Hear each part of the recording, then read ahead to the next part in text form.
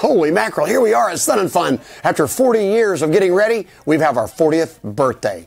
What's going to happen at Sun 'n Fun this year? Lots of people are coming in. Ticket sales pre pre-event are through the roof.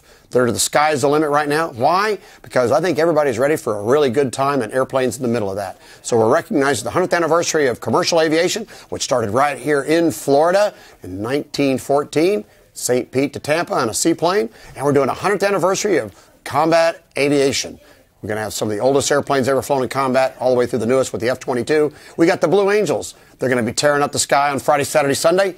And uh, the rest of the week has got a, lo- a lineup of really rare vintage military aircraft, along with uh, some exciting home builds. I got a helicopter that's coming in and does 200 miles an hour, lift off out of your backyard. You can go all the way from California to Washington, D.C. on one tank of gas. How about that?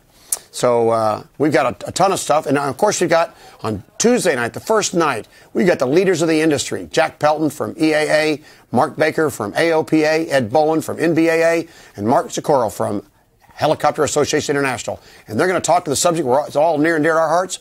How do you get the youth back into aviation? We are so far behind the power curve. We're 25% down in the number of pilots in America since 1980, 65% down in the number of student pilots. So they're going to address that on that night. And then, of course, we've got our fireworks on Saturday night. That would be preceded by a great night air show and a super show during the day. So, all in all, we got a great event. And oh, by the way, don't forget, why do you come to Sun 'n Fun? Because every dollar you spend goes back to educate the next generation of aviators as we build a brighter future through aviation and our Aerospace Center for Excellence. Take a look at the corridor up front. It's all about education through the eyes of an aviator.